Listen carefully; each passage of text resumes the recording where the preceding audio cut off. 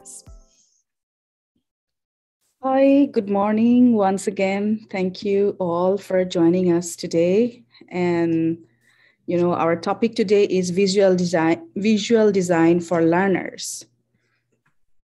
Um, before going to, the, to our main session, let me um, introduce our subject matter expert today. Um, it is our privilege to um, get her in our today's session. So Gabriela Kleckova is a university professor, language teacher, teacher trainer, researcher, consultant, and materials developer. She has a master's degree in education in TEFL from University of West Bohemia, where she is now chair of, of department and an MA and PhD in applied linguistics from the University of Memphis, Tennessee, USA. Gabriela has taught a wide range of general English courses and TESOL professional courses for pre-service and in-service teachers. Her research interests include the effectiveness and utility of visual design of ELT materials, teacher education, innovation in education, and leadership.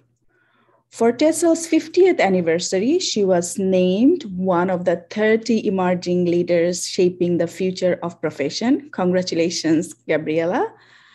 Uh, Gabriela Kleckova is TESOL International Association.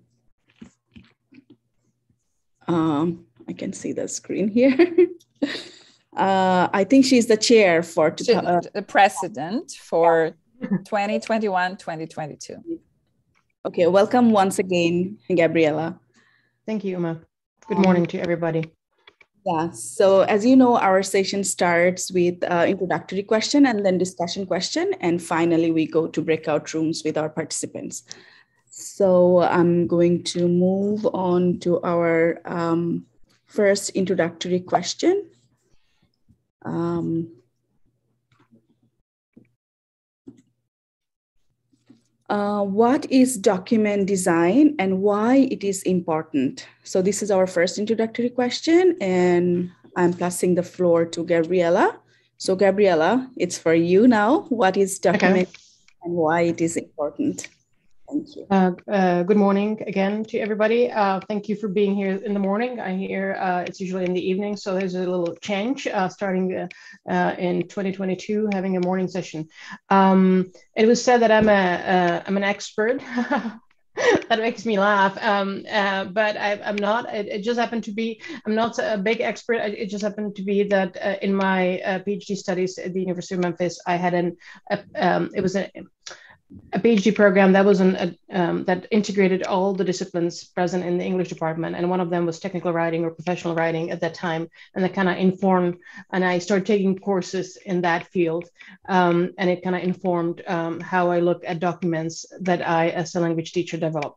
So that's just provide you a little bit of background. I don't have any uh, graphic design background. I'm just a uh, regular teacher um, and administrator and who happened to have some um, um, courses in something. And then pulling it all together uh, i did uh, at the end pulled it together um, in a book. But that's uh, that's past now and i'm i'm moving on with some other things. But um, i'm always happy to share the topic with everybody um, so I think there is not enough awareness about the importance of the subject matter in the English language teaching world or um, and that includes even programs and anybody working in our field in, in general in education. And uh, I'll start with a metaphor to say what is document design. Uh, maybe it's something that we all are familiar with, and that's planning. Uh, you may be in the classroom these days, or you may not. Uh, you may have all the other positions, but um, uh, lesson plan. Uh, why do we create a lesson plan? We have some ideas, and the lesson plan helps us to organize the ideas. And uh, from the, all the chaos that we have in our heads, it helps us to organize and then build uh, a certain flow and structure to the lesson, so the students can can learn what we would like them to learn. And similarly in design, as White says, uh, to design is means to plan. And what we do is we plan our documents. And that's a very sim- simple definition what document design is. But in my very simple understanding is like planning a document in a way that it achieves its purpose. And it can be to instruct, it can be to inform, or it can be to uh, maybe convince somebody of something, depending on the rhetorical situation. But it's basically putting together the text and the graphics and wrapping it up in a certain way. So what we are sharing either is um, set in a way where people will understand it, or it's hidden in all the little things that we tend to uh, do, uh, thinking that it's the right thing, but it's not. We'll be, uh, I think, addressing the question later. Uh, so document design helps and supports what we are communicating. It's the packaging uh, that we're using in, um, uh, or the visual language is the packaging that uh, we use to communicate our message and ideas. And why it's important, uh, it, uh, it can support comprehension or it can complicate one's um, uh, comprehension, or it can also make somebody feel that they're stupid. And an example would be a poorly designed uh, uh, textbook can, can confuse learners and very often, if you're a second language learner and the language that you're learning is foreign to you, uh, uh, you may feel uh, stupid that you can't find something, but it has nothing to do with your ability to comprehend teacher's instructions. It has to do with poorly designed material. And I use an example of a textbook because very often, as professionally done, the textbooks are, we often find some flaws in the design and, it, and the design itself is not supportive of language learners or anybody using the document. So I'll stop here now. Just a little, hopefully, clear understanding what I, what I or how I understand document design, why I think it's important. And I would be interested to hear what you have to say about it and your your perception of document design or why it matters. Right. Thank you. Thank you, Gabriela. That was a great overview of um, what document design is. But of course, we're interested to hear from you. So, what is document design to our audience? Uh, you could use the chat box. Remember, you could also raise your hand and unmute yourself and share with us why is it important and well, what definition you have for document design. Anyone?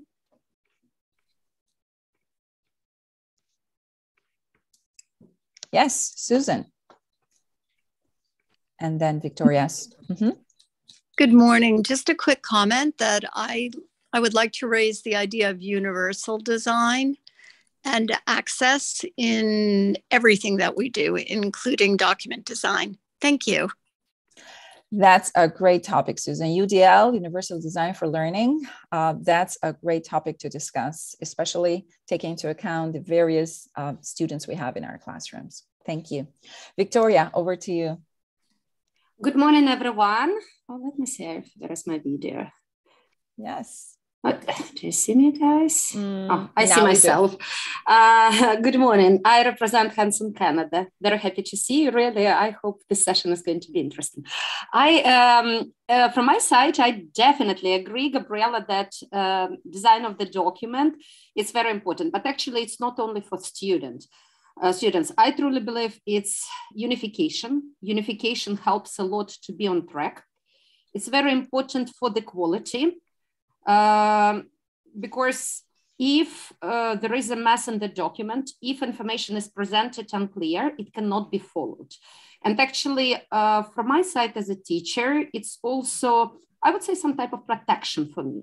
Because if there is something which is followed, actually, uh, there are no, um, I would say, situations where I cannot be incorrect. This is my protection as well protection by uh, the superiors, protection by policies. And actually, yes, I agree. Students see what should be done, right? So actually, I, am a fan of unification. I agree. Thank that's you. A, wow, that's a very interesting insight, Victoria. Protection in document design. Thank you for bringing that up.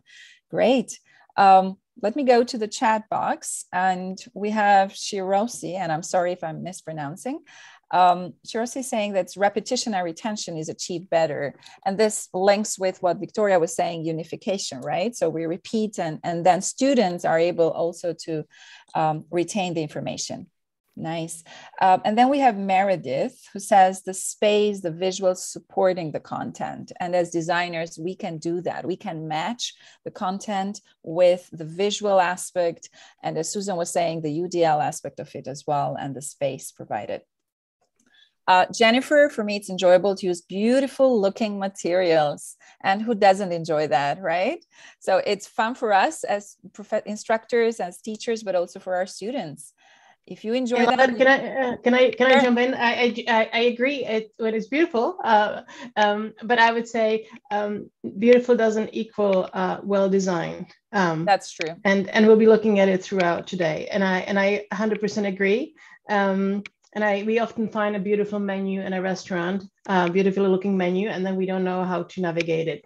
Okay, so um, because the the chef was very creative, but anyway, right. um, I just wanted to say, say that. But I 100% agree. I'm very sensitive to the look of the materials. Right. So if it's functional, it has to be beautiful too, right? okay, uh, Joanne. Um, oh, okay, Joanne has a technical issue. No worries. No worries. No problem at all. Uh, Debbie. I fervently feel that it motivates my learners and it assists in comprehension. So we we're still seeing a connection between uh, comprehension content and how students interact with the material for uma it helps to get takeaways easily mm-hmm. and as debbie's saying it also enhances learners learning mm-hmm.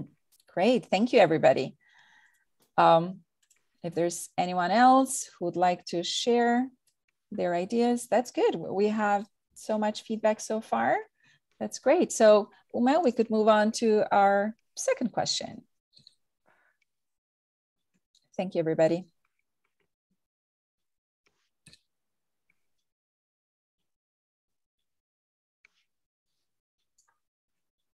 and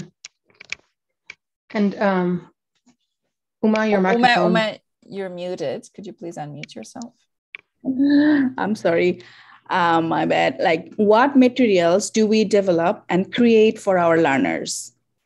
Mm-hmm.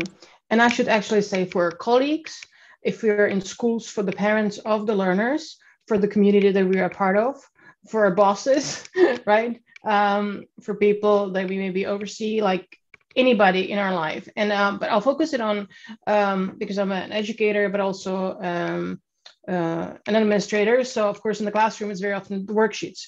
And uh, here I, um, um, it can be now we are all in online and we're using the online tools so much more. So it's in the digital format. We're still using Word and other things that we create those materials in. So uh, worksheets, assignment sheets, right? Um, tests, uh, very common. Uh, I think we do, we make, uh, don't make flashcards anymore. I'm not in the secondary or primary school anymore, but um, surveys.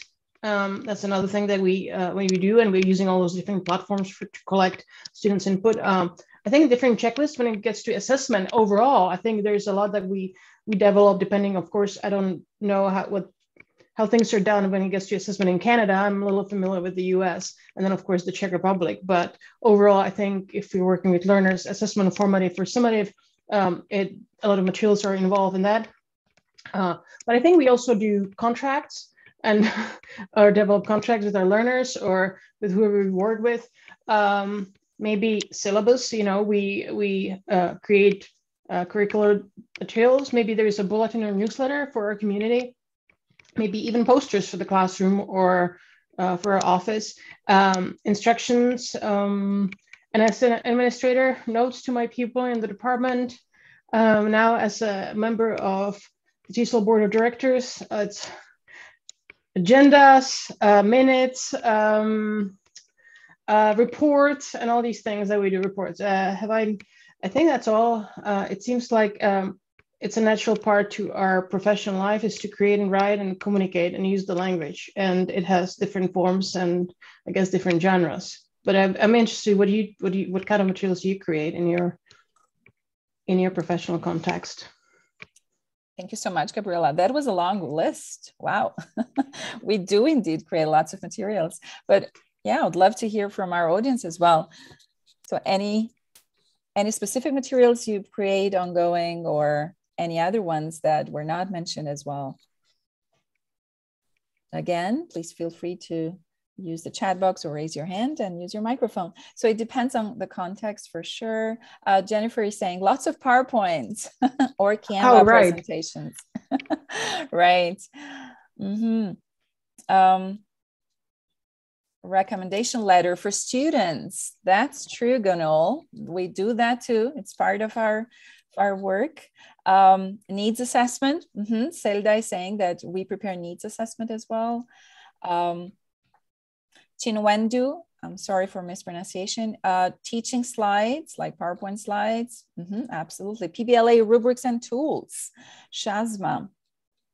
Daria uh, Bozdogan says PowerPoint flashcards, infographics, or handouts, as Debbie's saying. Uh, graphic organizing, share fun. Yeah, right. Meredith is, share, is sharing with us that they have made storybooks together, together with your students, Meredith. That's amazing. That's very interesting. Wow. That should have been a very interesting work. Uh, Shazma collaborative writing on docs. We do that too, right? So it's digital uh, material making with our students and for our students. Great ideas. Mm-hmm. Storyboards, Victoria with students or for students, Victoria, or both? Uh, for students, for top management as well. Mm-hmm. And I also, you know, I run um, student female community. Actually, we have a lot of activities which are outside the college. And actually, this is one of the parts because we participate in a lot of NGO projects as well. So just whatever Gabriela mentioned, that's all. that's all is done. yes, all the boxes. yeah, Great. Wow, that's great to hear. Uh, Jackie is also sharing that they've made a class movie that the students wrote. Isn't that amazing? They write the script, right? And then they produce and make it. Wow. We're creators here. We're a group of creators today, and I'm getting ideas for my own classes now. Thank you, everybody. This is great. Okay, good. Uh, recipe book, Susan. Hmm. That's very interesting indeed. Nobody has said party invites. Okay. Oh, yes. Um, um, mm-hmm. We party are all creators. to be part of our JD, right? Part of our job description should be creators using our imagination. Jamboard for intro, Shazma. Mm-hmm. Lots of ideas. I have to write them down now. Great. Thank you, everybody. Okay, poetry and journaling as well. Excuse me. Mm-hmm. Absolutely. Hmm. Great. Yeah, poetry. Thank you. Thank you, everyone. This was a great introduction. Uma, let's continue with our last introductory question for today. Mm-hmm. Autobiography. Wow keep those ideas coming, everybody. right. Thank you so much, all lovely participants. So, our last introductory question today is What do we consider when we develop our materials? Um, Gabriela, you first. what do I consider now and what I used to consider, uh, that's two different things. Uh, but I think a natural thing to all of us is that we think, uh, no matter what we do, uh, is we think about it uh, from the professional perspective. And again, if it's in the classroom, it's you know it's the pedagogy of language instruction or content instruction, depending what we do. And if it's in in other contexts, if as as, as a chair department, maybe I I think about um, um, I think about uh, what I want to communicate with my people and um, and how I want them to see it. But what challenges do I uh, do I face when I create my own materials? Uh, time, right? Um, uh, is always an issue. It's like I read this somewhere. One thing that we all have in common is we never have enough time. Uh, and then uh, when I think of um, uh, materials for language teaching sometimes is the content like uh, and then copyright. Those are some challenges. How like i don't like you know references citing when i borrow when i include when i can when i want to include something that i found online uh, that i see in one book and how and if i modify it. So i kind of struggle with how to do this correctly and properly by recognizing the authors and it's always sometimes a challenge. How do i do it so it doesn't completely ruin the whole document? So how do i basically cite and refer to sources and documents for language learners and what extent and how do I work with this, right? Um, and another one uh, is I um, it's not anymore, but sometimes what the what challenges me is my ability to use Word. Now I've advanced by working on my book on document design. I advanced so much in what I can do in Word. My colleague who was doing it in in Adobe uh, product, he he couldn't believe what I can do in Word. Um, but uh, you know, using technology to serve what I need or to to do what I need to do is another challenge. And um, and uh, I guess, and then of course uh, knowing what to put in. But pedagogy is the first thing. Um, what do we consider? I'm addressing the second question as well. I'm sorry, Uma, I jumped into the second. What do you consider? I consider pedagogy, and those are the challenges that I have. I'm sorry, I cannot address the second question that comes after this, but but in all this, it's the pedagogy that I consider, uh, and then it's the um, it's the goals of of the material, which are two things. And of course, now I think about the packaging, and uh, and then when I think about it too much, it it takes uh, a lot of time. But um, but I consider the content, my audience, and how I want to package it, and what impact I want to have um, and make with the material. And sorry about I jumped on to the second question. They seem to, to be so interrelated. They are, right? yes. we consider the challenges and how to solve them before working on on finding those solutions and preparing our um, our materials for sure right so it's our students at the forefront and then the content and last how to package it mm-hmm. any other perceptions what what do you think what is it that you take into account what is it that you consider what are your first observations when you start preparing materials? Mm. Consider all learning styles, as Sherfan is saying. Mm-hmm. All our students coming from different backgrounds and having different learning styles. And as Susan mentioned, accessibility, access. Are all my students going to access this material, right? How user friendly it is, how student friendly is this material? Um, using plain and clear language and instructions, as Francine is saying. Um, Chinwendu mentions student levels and how best to pass the message across. How can I be clear? I think that's our everyday challenge. See, we go back to challenge, right? So they are interrelated. This is the struggle being able to be understood, right? Using plain language and clear language. Um, Alina is saying, My learners that's what you consider. You consider your learners, your students, time. How much time do I have to prepare? Resources I have on hand and how to put it together. Right. Interesting. Thank you, everybody.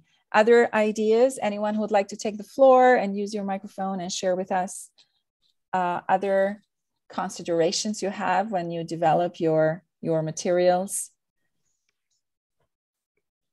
Anything else in particular? I think we haven't. Oh, Victoria. Oh, but Victoria. I'll, mm-hmm. Mm-hmm. Mm-hmm. Yeah. I'll add something. Oh, sure. Thank you.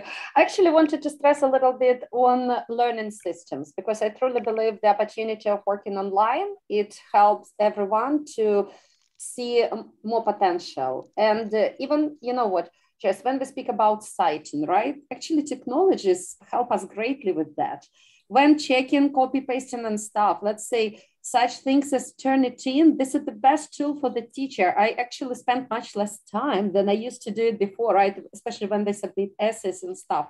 And uh, by the way, I would say for students, it also works, right? Uh, we always share the resources before they submit so that they could check check punctuation. And what I see, you know, mm, in the last two years, I have seen great boost in the way how submissions have become much higher level. This is, this is my observation. So because college students, you know, but actually they're international students. That's what I see when they come with language. So I truly believe this uh, use of learning systems is very helpful for us as teachers. Thank you. Digital development of materials. Thank you, Victoria. Gabriela? You want I was going to add, it's, it, I haven't had this concern um, uh, or I had to consider for the past two years, but it was always the copy machine and the number of copies I need to make for, you know, of any material and paper and, and copy machine. I mean, that was the, you know, size and uh, choosing between black and white and wanting color on mine and not getting it because it's expensive. So, uh, yeah, I mean, we, we haven't done this for some time. Um, uh, hopefully it will, we'll go back to it soon in a certain way but um, definitely a consideration. Resources. Right. Oh, yes. We're using last resources being that everything is now digital and no worries with colors anymore. That's absolutely true.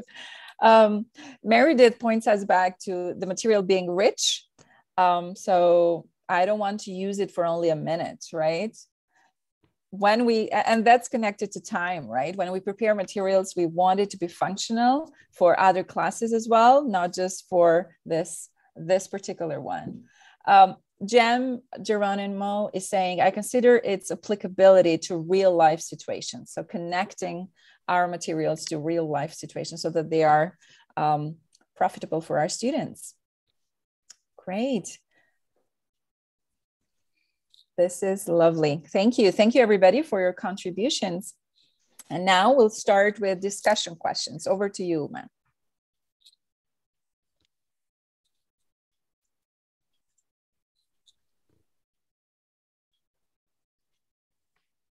So welcome to our discussion questions.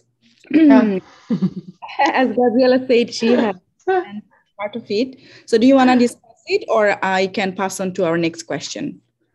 Uh, I, mean, be, I think it would be interesting uh, to hear from people what challenges I shared a couple of mine kind of integrated in with the previous question, but I would be uh, would be curious to hear what challenges people feel that they have in, in, in their context. Well, I'm reading out loud the question What challenges do we face when we create our own materials?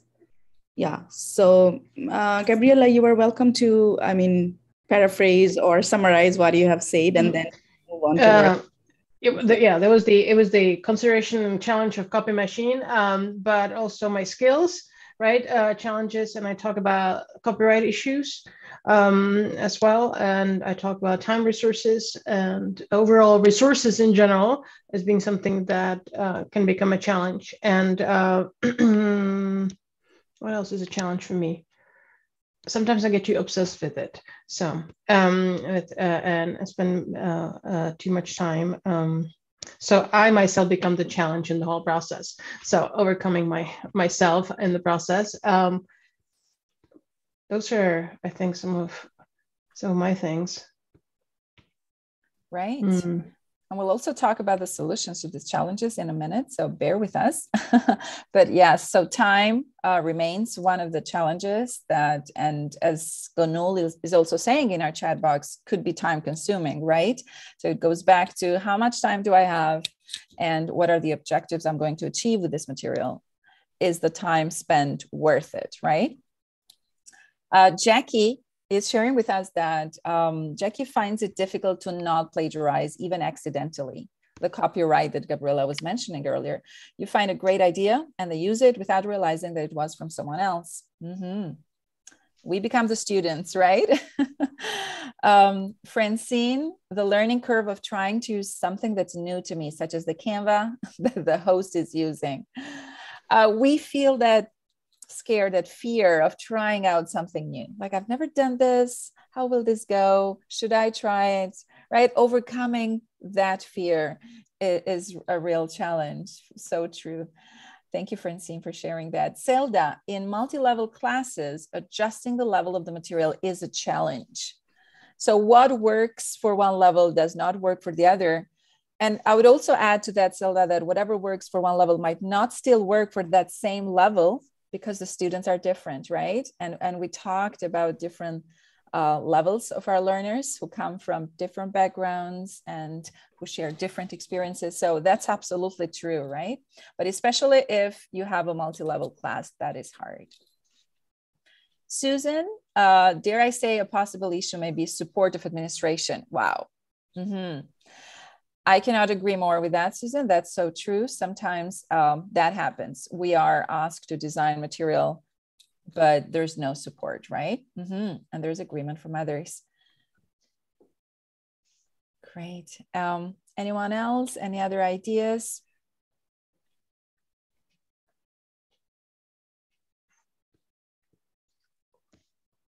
So many challenges, we all agree, but since we're designing materials, we have overcome those challenges, right?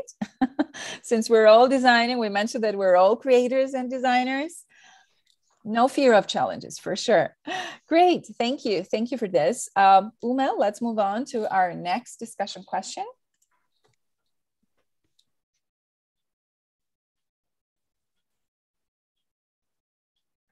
So our next next discussion question is what steps should we take when we start to design something and what are the basic principles for document design?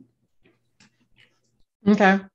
Um, I'll, I'll try to be, um, I mean, we cannot share all the things that are valuable for, for the process, but we'll, we'll stick with the, that design equals planning, right? And um, uh, to design is to plan the document uh, from the beginning to the end. And the process, the way I, um, the, the first thing I think that we have to consider is the, the rhetorical context. Um, and that's uh, what am I presenting? Why am I presenting it? And uh, it doesn't matter if it's for language learners or for any other audience. And um, when and where will it be read or interacted with? So those are, so I have to see because all those things kind of shaped uh, uh, the look of the document. Um, and it's like in the classroom, when we're planning a lesson, we need to think about our students, we need to think about our, our goals, we need to think about, um, you know, if it's a morning class or an evening class, we need to consider certain uh, circumstances of our lesson plan or context. And it's a similar way with the document design. I need to consider this uh, and invite uh, and invite to a garden party for primary school kids will be very different from an invite uh, uh, to a all school meeting. Um, you know, but it's still an invitation. So it has some features and certain elements. But then I have to consider the context. Another example would be when and where it will be interacted with. I often say, will the students have the document in, in, in class or will it be something that they'll use at home? Will there be any support and guidance on the part of the teacher? And those are some of the things uh, um, that we need to uh, we need to think about.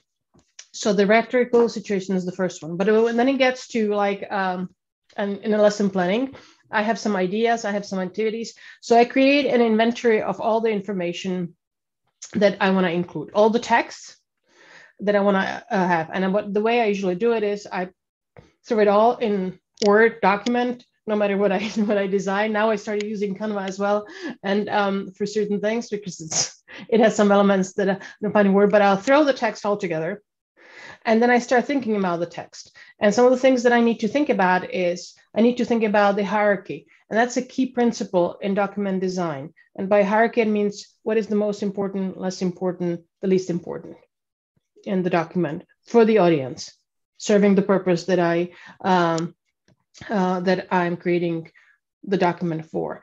And um, so I think of the hierarchy and the organization. So I create, you know, I know what's important and what's less important, and I create certain groups. So uh, what do I want the audience to see first and second and third? Uh, what is the hierarchy of the content, as I said? Uh, how can I organize it and uh, structure it? And what do I want? What feeling do I want the document to communicate? Do I want it to be a serious business or do I want it to be open and fun um, looking document? What, what is it? Uh, what mode uh, do I want to uh, uh, the document to create. So I those are some of the things that I consider, but I always think that the the hierarchy is a key uh, key element. Then uh, there are some other design principles, and there's over 120 design principles uh, Francine, that's for you to know when you work with the designers. Okay, it's it's like it's incredible. They're books on principles, but in my book and in general, I think the six that I work with the most often is that, as I said, the principle is hierarchy, categorizing information based on importance, and the uh, second one is similarity.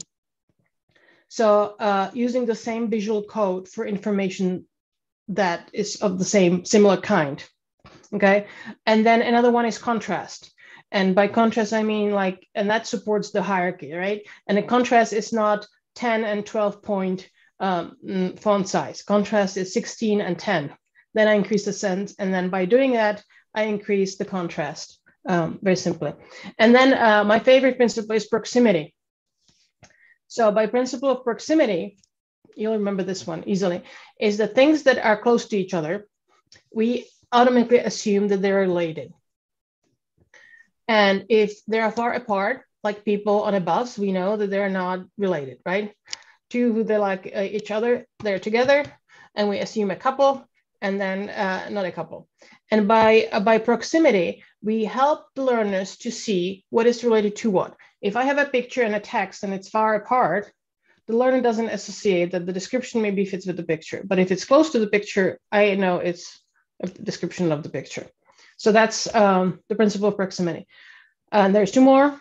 There's alignment. When you look at the screen right now, all the boxes are nicely aligned. All the frames for the are nicely aligned. It means that there's a certain line that they follow. And by accidentally throwing things on a page doesn't help our eyes to read and follow um, follow the information. And the last one is repetition. It's sim similar to similarity, but repetition is that we repeat certain elements um, throughout um, uh, throughout the document or across documents. Okay, so that's another one that I think is really important, especially if let's say that we always have a little checklist for for somebody. If it's a checklist, let's keep the same design to our checklist. No, let's not be creative all the time. okay, let's keep, and then, then it becomes a certain um, genre specific visual elements. And by seeing the same, the learners will automatically know that it's a certain document and we don't have to provide too much explanation. So uh, in this PowerPoint presentation that Uma uh, put together, every single slide has a repetition. As a question, it has an image, and it's repeated throughout the slide, uh, throughout the presentation. So there is this rhythm that the repetition also creates to whatever we create. So I'll summarize. I know some maybe you are taking notes, and you can Google these principles, or um, and it's the principle of hierarchy, the most important, distinguishing what matters and uh, what doesn't matter that much. Um, similarity and um, a contrast and um, proximity, alignment, and repetition. So I apply these principles, then I play with some tools. Uh, then I look at it, I print it. If it's uh, on paper, I print it, I look at it, like it, don't like it, review it, then I fine tune it. But the important thing is that I don't start designing until I have all the information that I want to include in the material. And after that, I start categorizing the information and helping and thinking of what visuals I need to support. And I start playing with it. I'll stop now. Um, that was a quick five minute into document design. principles. But very, very insightful and very practical. Thank you. I took notes of those. Um, and I'm sure we all practice designing material and we all do that, but maybe we didn't know them in theory or did not pay my atten- much attention to one or the other. So thank you, Gabriela, for sharing uh, for sharing your principles. And um, I'm sure that they will be helpful to all of us. Um, Gonul is saying using bold, right? We mentioned contrast, uh, graphics, and repeating those graphics, and that's um, with repetition and similarity, visuals, right? Also using primary colors. Susan is saying that actually some colors are better for people who experience color blindness. Mm-hmm. Going back to access and accessibility and having that in mind, absolutely. Uh, Debbie is moving on to emphasis, balance, alignment, repetition, contrast, and white space. We do need white space for relaxation as well, right? Um, share fun, relevance, the content, readability, mm-hmm. access again, and simple, uncluttered. Absolutely. Great ideas. Mm-hmm. Umay saying that hierarchy is what is most important to her. And yeah. Mm-hmm. Great. So any anyone else would like to to add anything? Great tips. Thank you, Gabriela. Uh, Francine, I try to keep hierarchy in mind when writing emails too. So, what is the most important and what is the least important? Getting the message across, right? So, hierarchy and content closely related. Mm-hmm. So, does it mean, Francine, that you uh, that you actually uh, use um, you play with the visual look, or is it the order of information? The the important comes first.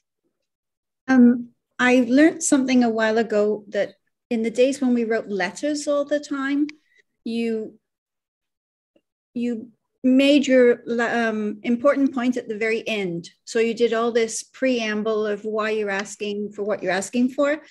And then when we go into the email world, we reverse it.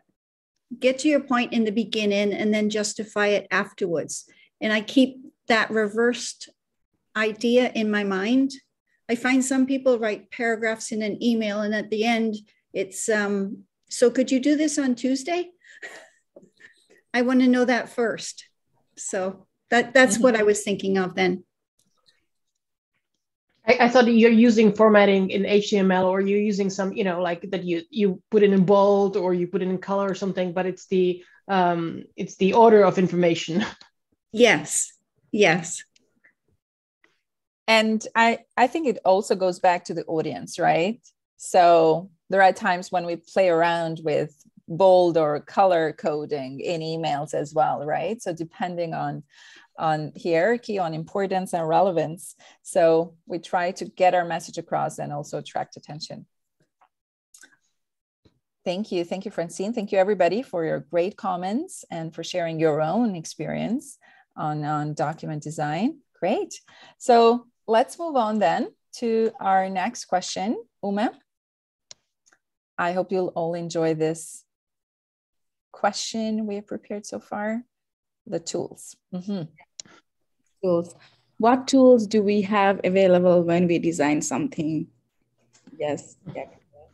Um, it's interesting in the in in the chat and what has been said, uh, uh, and I again uh, draw an um, analogy between language teaching and the design. In language teaching, we have principles of second language in, um, acquisition that inform what we do with language learners. And in a similar way, the principles that I introduced um, with this previous question, the hierarchy and the proximity, are some general universal principles that have been found as, as valuable and useful. And if they're applied, um, and you can start looking around, I would say, you know, look around and see what principles do you see on a book cover that's lying on your table right now. Okay. And, uh, but those are the principles that guide the mind of the designer. And then we have some tools that help us to achieve um, uh, that we apply the principles uh, with, or uh, like we do in the classroom. We have different activities, but we do certain things with them to really uh, match the principles of second language acquisition. Uh, so it's kind of hands in hand. And what I think we have, and many of those have been said here, uh, this will be difficult. I wonder if you have something to add to it. But a key one is color, right? Color um, maybe there is some perception of color. Um, uh, different people see uh, have different colors have different connotations across different cultures but color is definitely a tool i can use to show uh, uh similarity or to show contrast. Another one believe it or not is and it falls in, in um, is is uh, headings. Sometimes headings uh, are uh, considered a, like a type element, but headings, which is, which is, a textual thing, also helps to structure the design. And by by uh, applying some of these principles, like I keep a, I always have a certain type of heading um, in my document um, that can kind of support the communication of the document. Another tool that I have is type. And uh, we have, I'm sure you know this, serif and um, uh, sans serif fonts, uh, sans serif fonts uh, that we can use. And uh, the the software that we use have um, has a lot of options. Canva offers a variety of uh, type um, that we can uh, we can use. And another element is numbers and letters. Believe it or not, numbers and letters, numbering and lettering things but then doing a, a 10 uh, items that are bulleted. And if you use numbers, just using that little tool that we have available can really improve the navigation of the document by referencing to it. Um, uh, it's easier for referencing. We have different symbols and icons, either through Word or we can seek some on, online. We have the different boxes we can use uh, or lines uh, and borders. We also have a header and footer. One thing that I keep forgetting is I keep forgetting including page numbers if I have more than one page. Okay, a very important element for somebody who prints out the document. But believe it or not, that's my always forget. And then I myself struggle which one, which page is first and second and third. Another one, and it came here, is the space, the white space. White space is not absence of text. White space is tool, and it, it's powerful in design. and um, and and graphics is another one, um, and it can be illustrations or pictures, whatever. And the overall layout, how I put things on on on the page or whatever size of I choose or on the screen. That's another element. So those are some of the tools, and maybe um, those are some of the tools that we have available. Thank you, thank you, Gabriela. So many tools, right? That we sometimes take for granted and think they're not there for us, right, to use, um, but they have power, right? There, there's power behind those tools, and they make the whole difference when it comes to how our students are going to perceive, or anybody, our audience in general, is going to perceive and interact with, with the material. Any other tools you use um, that are your favorite or that you have experimented, like using lines or color coding, as we mentioned. Uh, Gonul agrees that page number is so important. That's that's very important indeed, especially when you print them out. And when I forget doing that, as Gabriela said, it's a nightmare. I'm like, which, yeah, okay. So let's order this now, right? Mm-hmm. Any other tips you have? Any other strategies you use when it comes to tool? Victoria, yes, please. Uh, I agree with everything. All all is correct. Uh, I wanted a little bit to comment on colors. Uh, I like a little bit again unification. Let's say all my lectures have uh, absolutely the same, the material, it has specific graphics, right? And let's say I always stress that when I put something red, it's always the same font in all the lectures. It means that students know that they have to learn it by heart. And if I put something, let's say like an example, it's always green, it's the same style, and it helps them to understand. So for me, it works well. So if you find it also useful, so, but I agree, just numbering slides, just pages and documents, yes, 100% clear. And I remember I also, you know, Gabriela uh, once uh, really I gave some type of assignment, but actually I forgot putting page numbers and the trick was uh, they did something absolutely different. It was such a nice lesson that after that I always remember that. but I agree with you. It's just very powerful tool. Thank you. That's why we love mistakes. We learn from them, right? mm-hmm. um, Yes, Victoria, and, and I do the same in my course, uh, online course. What I do is that every assignment is in red so that students know that if it's in red, they need to click on and submit their work. And we're talking of weekly assignments. So it's hard to, to be organized. And my students love it. They're like, okay, we know. It keeps them on track. Uh, Meredith, Victoria, what level are you teaching? Where you color code or for all levels? So Meredith has a question uh, for you. For all, for all, for yes, all. Doesn't all. matter. It doesn't matter whether it's business English or whatever it is, mm-hmm. right? For mm-hmm. all. Yeah, same. But actually, me. it's easier for me. It's easier mm. for me, mm. right? Because I have mm-hmm. created my system, and mm-hmm. told people that they also get used to it very easily. Right. Uh, and, and I agree. Sometimes we think that colors work only for children or, or younger, but kids, right? But no, I think colors are helpful to everybody, especially when you have the code, right? You you have a code that the students know and respect and follow, right? I think one thing I didn't say is that all the tool, all the things that we have available interact with each other. And I have to um, think carefully about how I use it. Color is good, um, but I also have to think what kind of type I use to put put in color and other things. So it's all interrelated and it can have, you know, there's no right or wrong. Mm. Uh, but there is, uh, but it, it's it's it's like cooking a meal. I have to consider the different ingredients just to create the right taste um, at the end, and the same way I do it. But I, I was kind of thinking um, that maybe uh, people. I I talk about tools that we have available in Word, but I would be interested to hear what tools online people use to kind of design their materials, or what would you know? Kind of we've already mentioned Canva, but what other software or applications you use to to do your things? Maybe we can expand our you know um, list of tools that go beyond the the specific um, ones that it, we can use in design. Mm-hmm.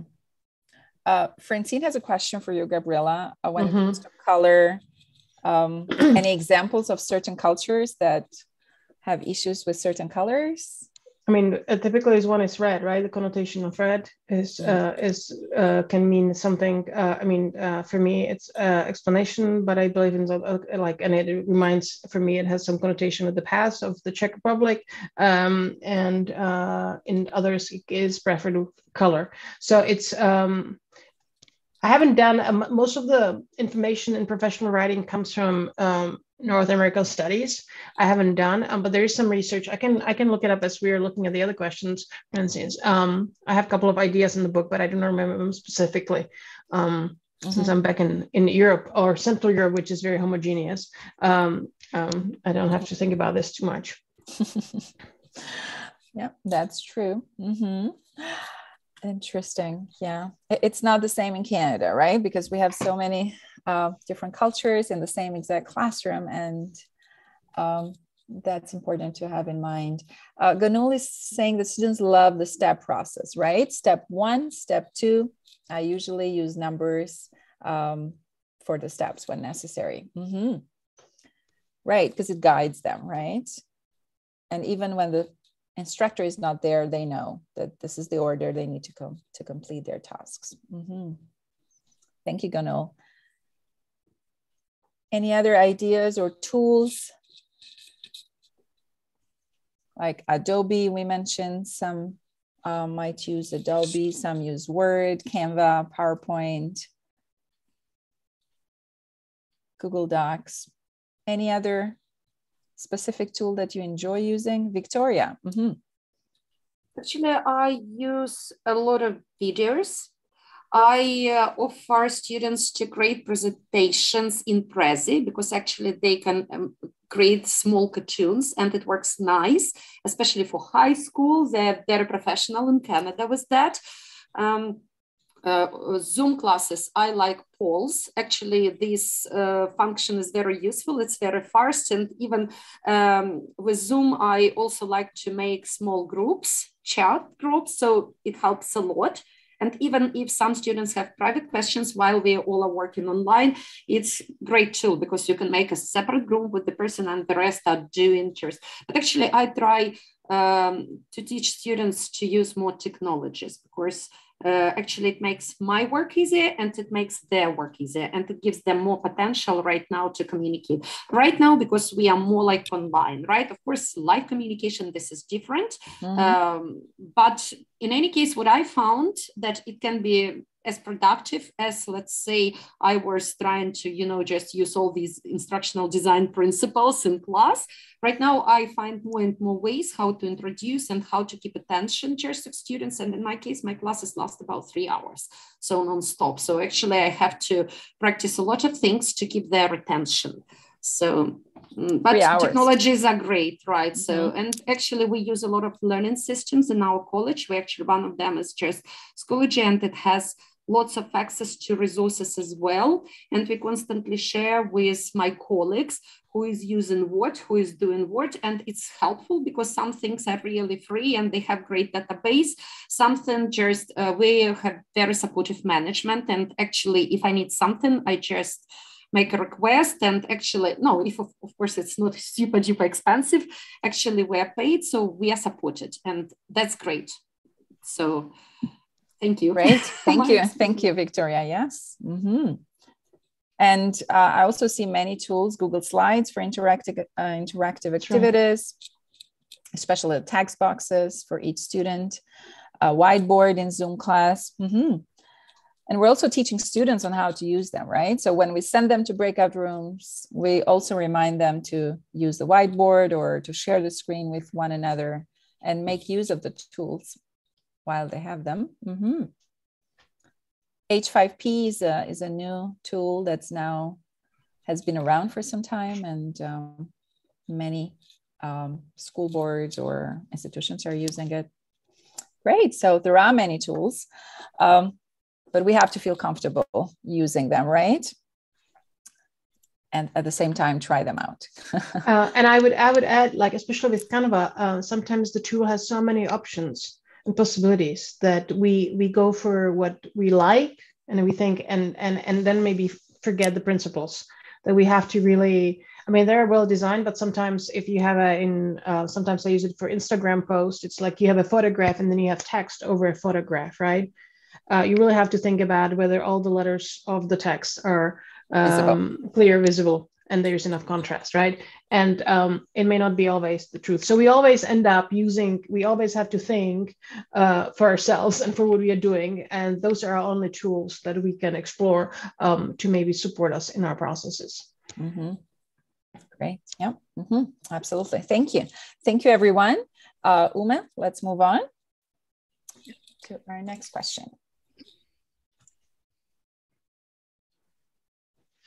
So our next question is what common mistakes we do make in document design? Yeah, as Loretta says, she loves mistakes. yes. What common mistakes we do make in document design? Yes, Gabriela your tips. Um, yeah it's and and and, and as like as educators we don't like to focus on mistakes right? Uh, uh, because mistakes are, are, a sign of learning. Uh, but I, I, feel like um, and my experience is that maybe we in, in our schools or teacher preparation programs or in our education we do, really don't learn how to do these things. We don't learn how to design effectively. And because of lack of knowledge we do something that we think is correct. And um, so good intentions behind. Um, my uh, this is horrible, but one of my activities when I want to entertain myself, which I haven't done for some time, is I just put in I just put in uh, ESL worksheets in Google, and then I look at the images, and and I'm just fascinated by the scope of creativity. Um, in the education world in a good way and maybe not so good way by good intentions we create obstacles for our learners um, or even for our readers whatever materials we create. We, and some one clear um, uh, a common mistake is definitely violating the idea of hierarchy where the, the hierarchy of the document is not clear to us. By having a first look you don't i don't know what's most important in this document. I don't know where to put my eyes because the hierarchy navigates uh, our eyes and effective documents help navigate our eyes to kind of get to the information that we need to get to. Um, so that's definitely one. So when you look at what you have in front of you, if you now went to a document that you just recently created on your computer that you're on, it would be interesting to see what, what did I do in this? Okay, how did I communicate the hierarchy of the document? And did I use contrast to really clearly to show the hierarchy? Um, Another one is that we're not consistent. Victoria said she's very consistent using color, but we're inconsistent in the use of various visual elements. Okay, we designed something one week, two weeks later, we designed a similar document and we don't remember what we did. So we put in other things. So what I now, um, so inconsistency across documents and within one document. And, and, and this is fun. You look at that a teacher, first activity, one type of font, okay? Third activity on the page, a different one. And you wonder, is this a mistake or is this intentional? So inconsistency and the same thing should look the same. Uh, and then another one, my favorite one is that they're so crowded and too busy. And um, and I really like another metaphor. I like the documents, and not because I like them, because I think they're easy to navigate. It's like if you go to a, a, a, store, a fashion store, and you have based you, when you have the lower scale fashion stores, there's this overflow of items, right? It's like packed, like at least here in the Czech Republic, some of the stores, like I don't know where to look. Like it's like where to, what to get. You know, I have a hard time navigating. And then you go to a upscale fashion stores and there's like three shirts on and then you know what you want to get. And it, um, and what you where you can find it. And i think it's the same uh, situation. Sometimes our documents have so much and that white space that we mentioned earlier is not there that uh, we don't the the, the learners um, or the readers um, don't know where to go and where to put their eyes. Um, so very crowded uh, another one is too many visual elements. This is typical for primary primary school teachers.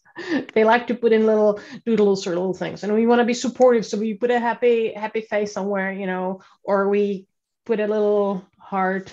Maybe not that often, but we like the happy. We would like to encourage students by including funny and fun, happy images. Um, as I said, another mistake is that uh, it's harder hard to navigate the document. The numbering that was mentioned in the chat numbering, very common. Uh, uh, contrast, not present, related to hierarchy. That's another one. Uh, uh, sometimes we, we, we don't like that white space that on the page. So we throw in something like a big picture and idea, and we don't think about the relevance um, of the picture to what it says. And I have a favorite. My favorite one is, this was in a test. There was a picture of a kid on a scooter and um, it was next to a story about the kid's birthday but there was nothing about the scooter in the text or something. So it completely misled the um, the learners. Uh, another uh, pretty common can be that there is not enough contrast between the font and the background when we are putting a text over something or when we're using color. And another one that's uh, my favorite it's uh, call it typewriter leftovers that maybe it's not the uh, younger generation, but those of us who still remember typewriters, um, is that there is not that much formatting options that we had. So what you had, to, you only had the option starting on the left, starting in the middle. okay, that's how you created uh, contrast, right? So sometimes people still put a lot of things in the middle of the page, the headings or the titles in the middle of the page. Yes, it can be in the middle of the page, but our eyes have to go all the way to the middle to identify it right? We can create the contrast. We have other tools available. Another one is underline text. Fabulous thing. Um, all, we all underline our text. Now that's left over. By underlining text on a typewriter, you show that that was important. Now we can use other um, tools. And another one is all caps. Beyond one word, right? If you have a text in all caps, again, very, very difficult very difficult to follow. And the very last one, and I'll, um, uh, uh, uh, there's some discussion going on in the chat, but the last one is that we ignore the purpose and use of the document. Okay, so sometimes we end up with an activity that has two parts, and one is on one page, and the second part is on the other page. So the kids, the students go like, you know, they keep flipping the the document because one thing like ideally word bank is on one side and uh, cloze activities on the other side, right? That's the, so we don't think about the purpose. We break the text at a certain point where it's not uh, well done. And, um, or another one is like when you have a page, sometimes when you fold it, right? And sometimes when there's text in the middle, it makes the text harder to read when you open it up. So those are some examples. And I'll share a link to a blog that I uh, did for TESOL that has the most common flaws and fixes uh, for the audience to have some content knowledge. Uh, but I would be happy to see what, what, what are your experiences? What have you seen in design? Thank you. Thank you for sharing uh, the blog link will be very interesting for everybody, um, but also for sharing um, practical examples. I remember once um, it was an assessment. So I had designed an assessment and then printed it out. So the student had to flip the page to see the other part of the task. She forgot it, although I reminded, I, I knew she would forget it. And I was reminding her and, and some other ones. And at the end, when I checked, she had still forgotten to flip the page and see that there was a second part to it. So that taught me well, right? The next time I designed the assessment, I knew um, and yeah, there's a lot of conversation going on. Uh, so clutter, Susan is saying clutter is a problem, too much information and lack of consistency. Mm-hmm. Um, Gabriela shared the blog with all of us, too many fonts, right? Which are different, right? Mm-hmm. Blocks of text in italics or in fonts that look like fancy handwriting but that are difficult to read, right? mm-hmm, that's so true, Francine. Yeah, true. Mistakes we learn from. That's what matters. Changing and adapting and improving our designs. Mm-hmm. Great, thank you. Any other ideas? Anything in particular you'd like to share with us? They're all looking. They're looking at the link now. I'm yeah, they are. that at the end. I right? did what we're not supposed to do with learners, yeah. right? Send them the link while we talk. Yeah. so, but as you're looking at the at the blog, is there anything that resonates with you? Do you see your materials? Can you connect your materials uh, to any of those flows? Mm-hmm. mm-hmm. Yeah. Okay. That's that's okay. We can move on to our other question, Uma. Yes. Two more questions and then we'll have a breakout room activity for you. So good timing. Thank you. Okay. So our next question is what shapes the design of our materials?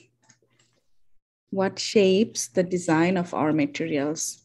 Gabriela. Uh, we, we, it's kind of like summarize it because we, we talked about it, right? And um, we all have uh, uh, whatever you're creating, we have some content or some information, and then we have some, and with language learners, it's some pedagogy, and then we have the design. And the design, uh, and actually, I think even the information and the pedagogy all depend on uh, on the. Um, I'll have four question words. What? Uh, what type of content do I want to present and share with the learn with the audience? Um, am I am I uh, presenting instructions for an online language task or a vocabulary practice activity or an invite to a meeting or um, a reading text or performance criteria? So what I have to think is what the content is, what information is there. And I said earlier, it's we, we create an inventory of all the information. What so what is it that I'm doing? Because all these things will shape the look of the material. The second one, and which is connected with the what, is the why.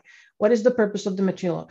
Um, what do I want uh, by the, the design to achieve? And uh, do I want to guide students to something? Maybe that will shape it a little bit. Do I want it to be as a, as a point of reference for something. What is the uh, why? What is the purpose? What will the students do with the or the readers um, with the material?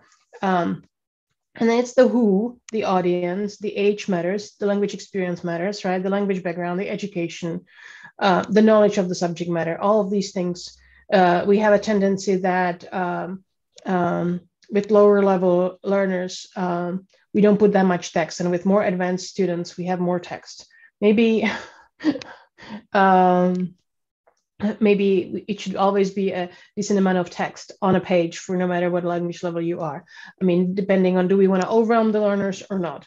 Um, uh, and the last one is uh, the how, and I already talked about it. How will the material be used? Uh, inside, outside the classroom, will it be displayed? Will it be used on a mobile device? Will it be used on a computer screen? How will it be used? How will the students interact with it? And um, and those are some keys. So what, why, who, and how, and those are the general considerations. Um, uh, and one thing that I didn't mention, or I've mentioned, there are certain conventions that we have to recognize.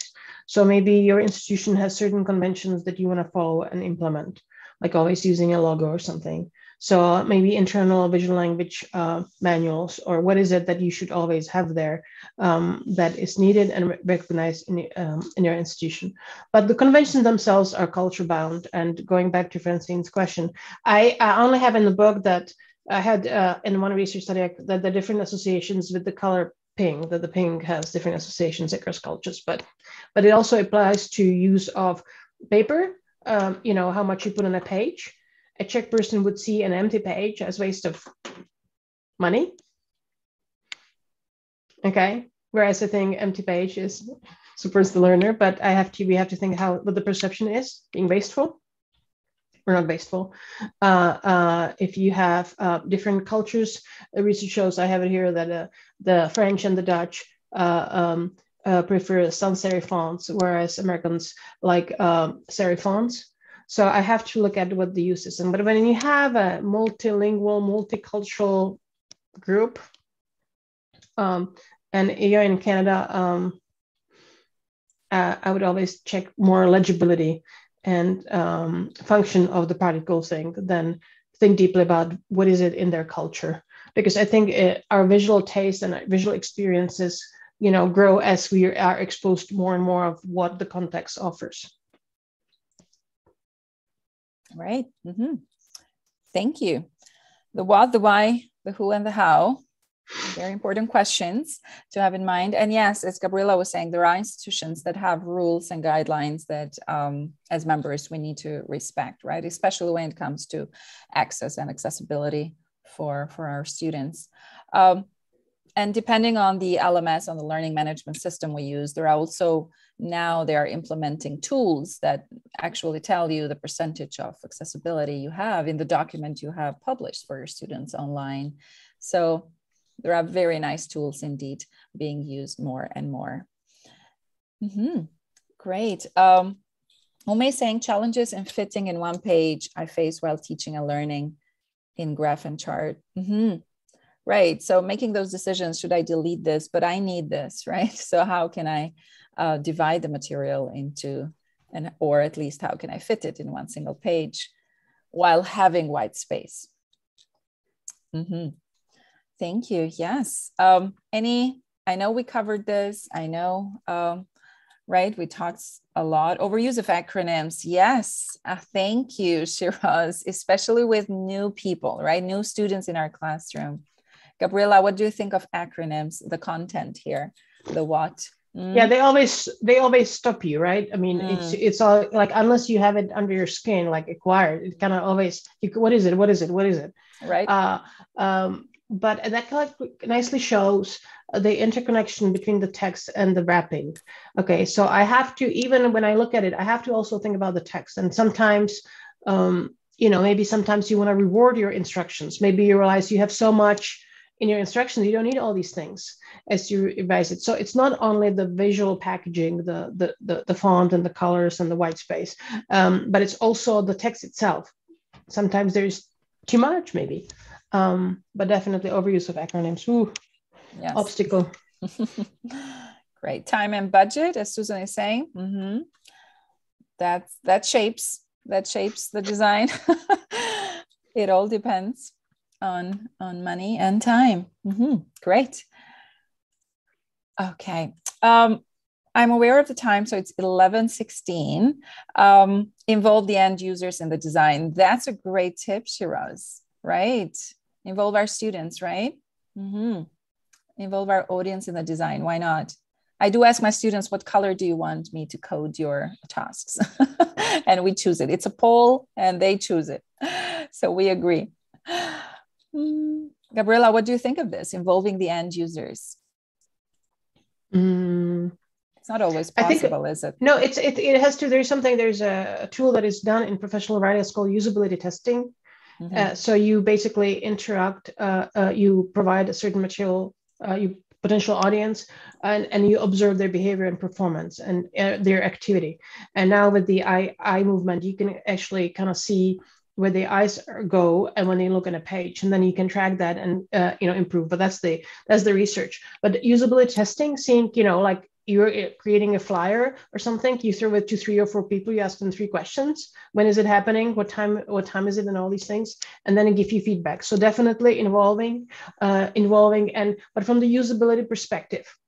Okay. Right. is it is this user friendly is this accessible? Do i have access to it? What feelings does it give you?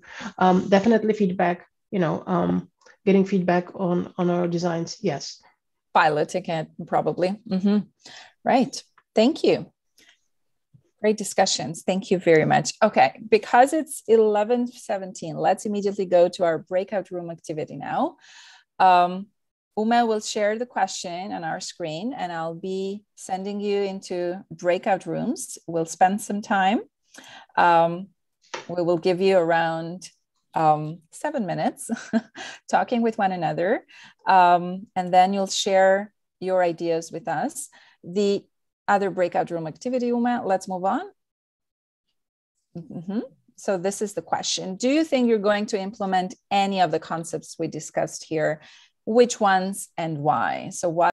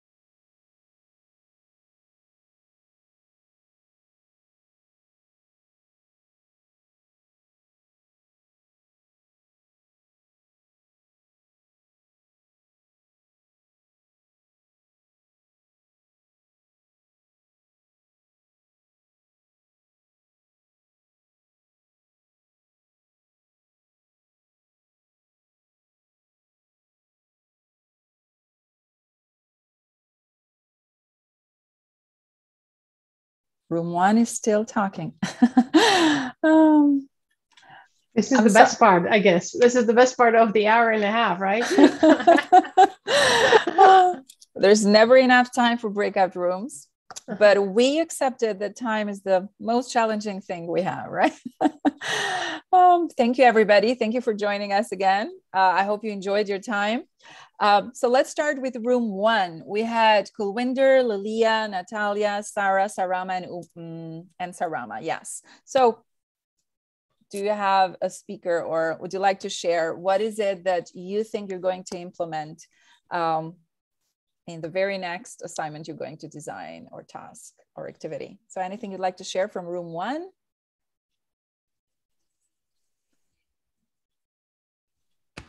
we talked about implementing the uh, ideas that Gabriela shared in our own teaching.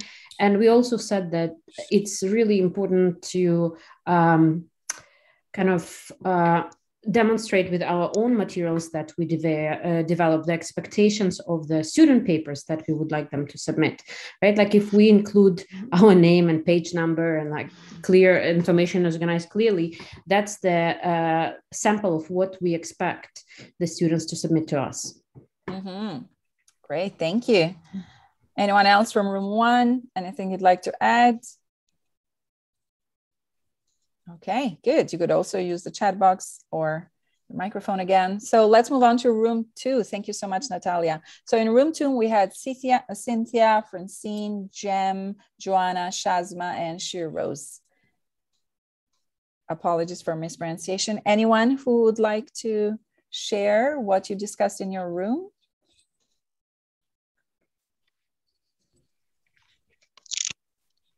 I'm guessing they're waiting for me because Sorry. as usual, I was. Sorry, I was muted. I was muted. I was just going to say, Francine oh. shared a personal story uh, about you know how the the activity could be split up between two pages, could not just not just be like annoying, but physical constraints. You know, anybody with some disabilities or whatever, mm-hmm. and if they're mm-hmm. doing a test, the timing would be you know something that would be um, yeah. Mm-hmm. Absolutely, right and then they don't see they don't prepare themselves of, of the next page right? They think they're done. This is the only thing they need to complete. Great, or with carpal tunnel whatever physical ability to move the page could take page. time right? Right. We, accessibility. access, mm-hmm. yeah that way. Absolutely. Yeah. yes? I was saying that we usually talk focus so much on color issues that especially if well anybody with any mobility issues it's a different thing that we have to consider. Someone also mentioned too, um, indirectly about catering to the various device sizes. So many students viewing on phones and tablets versus a laptop or computer, mm-hmm. and how design becomes more complicated trying to accommodate as many people as you can. Mm-hmm. Yes, mm-hmm. and especially on the number of words you have on the page. Thank you. Thank you so much. It was, it was a very, I found a very interesting conversation in our room. That's lovely to hear. Thank you, Francine. Thank you, uh, room two. So let's move on to room three. Uh, we had Shinwendu, Debbie, Zelda, and Gabriela as well. so room three. um, okay, I'll go first. And if my friends wants to add something, we talked about okay mm-hmm. we we designed uh, materials but we never thought about it before we said. I mean the importance of fonts and these blank spaces on paper and also color codes. All of us said we want to try because i don't use uh, i work with adults and i i mean i didn't think i would use it but i will try. I'll try using color codes. And also debbie talked about using powerpoints. Um, yeah that's basically mm-hmm. what we said in our group. If Thank anyone you. else wants to add something else. Thank you, Zelda. Yes, anyone else? So let's summarize everything then. Thank you. Thank you, room three. And moving on to our last room, uh, Devinder, Jennifer, Monica, and Susan. Anyone from your room to share your goals Um, so uh, I will go first, and uh, uh, later, if Monica or other friends of my group uh, mm-hmm. would like to share, they may share. I am really, really thankful to Gabriela for um, holding this. Uh, the the points that were mentioned here were very important. We noted, and as Francine has um, mentioned, that the use of device is also very important while designing and as well, um, uh, Zelda mentioned the color coding, which I am thinking of uh, incorporating in my designs. Nice. Thank you, Devinder. Thank you. Thank you for um, the for everyone for everything, the sharing of thoughts and all. Our pleasure. Anyone else would like to add? Susan is saying, I'll start that serif enhance ease of eye tracking reading. Can Gabriela please comment on sans serif? That mm. sort that was sort of sidetracking the discussion that we had in in our um, in mm. our group that was mm-hmm. just sort of more more a final question mm-hmm. but uh, yeah i agree with all the all the points every all the other groups have said as well and uh, we we did have a further discussion about white space the white space and clutter issue mm-hmm. um so should i address the the, the question mm-hmm. yes uh, I think that you know um, it's a little more complicated because what it depends is the, the size of the font uh, matters as well. Uh, the the space between the the, the lines, uh, the font, so it's more complicated. Okay, because if you uh, it can support or it can be an obstacle. Because what I say always the the little um, the little doo-doos uh, mm-hmm. around the letters. If there's not enough contrast, they kind of hinder. And the idea of font is that our eyes can see the line of the letters clearly. Um, and that can change based on, on, on the device or on print and the size. So it's uh, we have to really look look at it and see what we want to achieve. You know, some people say now that if you were designing for the screen, use sans serif. But now with the higher re- resolution, you can use serif because if the resolution supports the the our ability to um, craft and see the the the, the letters. So mm-hmm. no easy answer in design, uh, Susan. Sorry, but um, it's it's a little more complex. Mm-hmm. Thank you, thank you, Gabriela. It's just fascinating for me because I was thinking, well, if it has to do with physical eye tracking, then how would that explain the cultural differences you alluded to? Like, why is it different in France and the Netherlands as opposed to North America? Thanks again. Because the, cho- the, the, the, um, the choice of the type, okay, uh, is going to be culturally um, like it's something that's common in the culture. And if it's common, people are more used to it and prefer it because they're used to it. So, going to be one reason, but I mean, this, I, I, don't know the recent research. This is, I'm talking about my professional past here today. well, thank you for doing that. Thank you, Gabriela. Um, and thank you, everybody, for all your comments and insights. Um, Uma, if you could please share Gabriela's contact details, and then we'll move on to uh, our final and ending slides. Thank you for staying with us. So this is uh, Gabriela's email address for anyone that would like to um, address or any questions you have.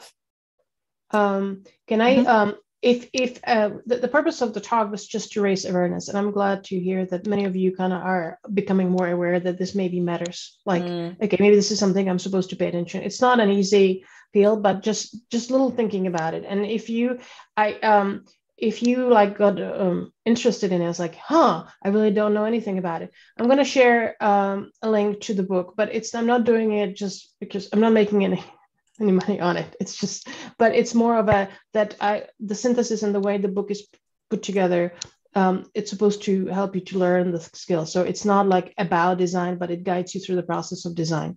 So I'll put a link. Uh, it's you can buy it as an ebook, but I, I, I, don't like to do this selling myself. But it's the content that I didn't have time to cover here that you can read there. Of course, you can look up things free on different websites, but um, here it's put together in relation to language learning if you're interested. And again, um, the hardest part for me, I don't like to market my book, but because of the content that I um, am very proud of, um, uh, um, that um, I'll, I'll, I'll, share it here. Um, thank you. Thank you, Gabriela. Wow. Thank you so much. Uh, Uma, thank you. and now it's, uh, it's our closing slides. Oh. So thank you everybody for attending our session. Uh, the PD certificates for this session will be mailed to you uh, using the same email address that you used to register for the session. It will take up to seven days, so please stay with us until then. Um, there's a survey that will also be mailed to you the next business day. Please take the survey and give your honest opinion on the session. It will help us improve and get more content to you. Um, don't forget, we have upcoming events on February 15, uh, 2022. Please register. It's a 7 to 8.30, our usual time event on a Tuesday, Understanding Gender and Sexual Diversity with Celeste Turner. And then on Saturday, March 12th, from 7 to 8.30 p.m. again, we have Promoting Active Reading with Online Social Annotation. Please go into our uh, website and register for these upcoming events. We hope you enjoyed the session. Thank you so much from us at TESL Ontario. Thank you for joining us this Saturday morning, and I hope you enjoyed it. See you in other sessions, everyone. Thank, Thank you. you.